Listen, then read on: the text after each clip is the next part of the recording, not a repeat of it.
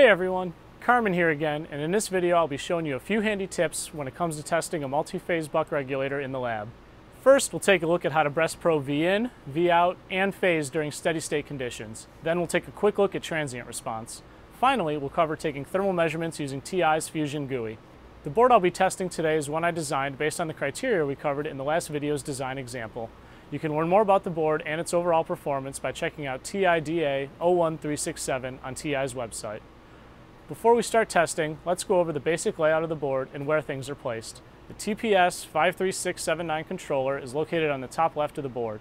The six phases with their inductors and CSD 95490 power stages are centrally located and laid out in an L shape to save space, though placing them in one straight line is acceptable too.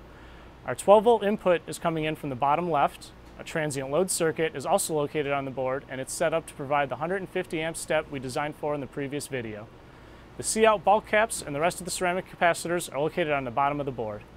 The second, auxiliary rail, is located at the top right of the board, but this video will only cover testing the six-phase rail of the multi-phase controller. After powering up the board, we can do a quick check with our multimeter to make sure we are up and running. V in is reading 12 volts, and V out is sitting pretty close to 0.9 volts, so we're good to go.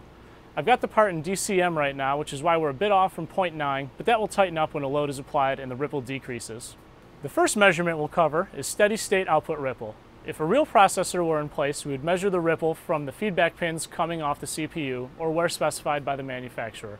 Since we have no CPU on this board, I've placed a test point across the ceramic capacitor that my feedback lines to the controller come from. Note the short connection between the probe ground and board ground. On the scope, we can see that the ripple on V out is aligned nicely with the phase node and there's no real noise on our signal. If you don't have access to a low noise differential probe, use a passive probe instead like I am with similar ground connection across the feedback lines or output capacitor. If the noise floor of your diff probe is too low, you can see false signs of instability. Nobody needs extra headaches in their life, so always practice smart probing. When measuring ripple on VIN, the placement of your probe ground is crucial. Looking across the input caps of phase 1, here you can see what a difference probe placement makes. On channel 1, I took my measurement with the probe ground placed locally at the phase, and on the second channel, I've got this long ground lead which adds more ripple than what's really there. I can even get different measurements by moving the ground point from one of my ground lugs to another point on the PCB. To make sure your design is in spec, check the ripple at each phase using a tight, local connection to ground across the ceramic input capacitors as there can be phase-to-phase -phase differences in the input ripple. While phase 1 and 2 have similar ripple on my scope, there are a few differences between them. Much like with VIN, measuring phase also requires a tight ground connection close to the phase node under test. See how channel 2 shows more ringing than channel 1 because of the long ground lead?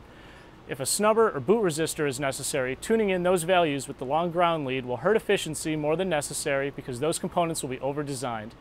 A tight ground lead and no bandwidth limiting on the scope are essential to see what's really happening at the phase node. Also, be sure to have a high load in place to make sure you're seeing the worst case ringing. I'm pulling our TDC current of 100 amps right now. The ringing we're seeing is within the datasheet limits for the power stage, but if there are EMI concerns in a real application, I would throw on a snubber or a boot resistor. I'm going to turn on my function generator now to my load transient circuit and take a look again at the output node and see how it looks during the 150 amp transient. For this measurement, I'm using a passive probe again, but a diff probe works as well, and the exact probe makes less of a difference than when measuring ripple. Here on the scope, we can see V out at the top and the function generator output to the load circuit below. I've also got a 90 amp DC load applied as well, so the total current is really going from 90 amps to 240 amps during the step.